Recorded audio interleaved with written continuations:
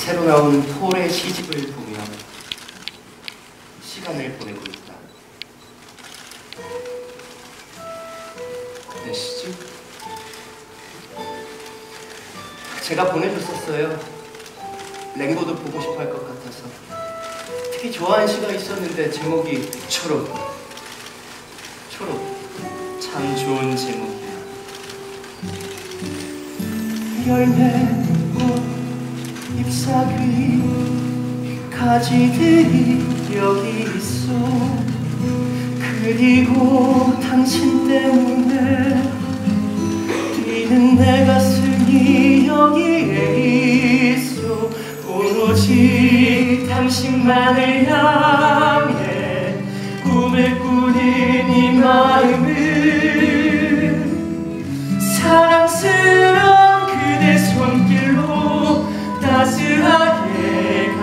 감싸줘 오로지 당신만을 향해 고동치는 이 마음을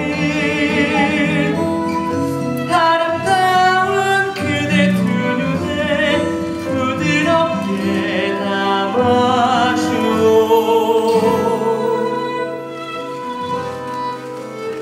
짜증나 미치겠네. 어떻게 이렇게 단순하고 소박한 단어들로 이런 멋진 시를 만들어낼 수가 있는 거지.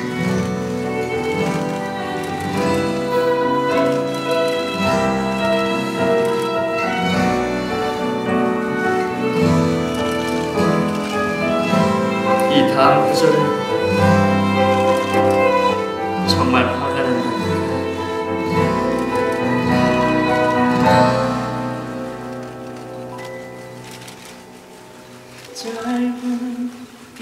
입맞춤에 수줍게 물든 내 얼굴을 그대 여린 가슴에 살며시 웅크리게 해줘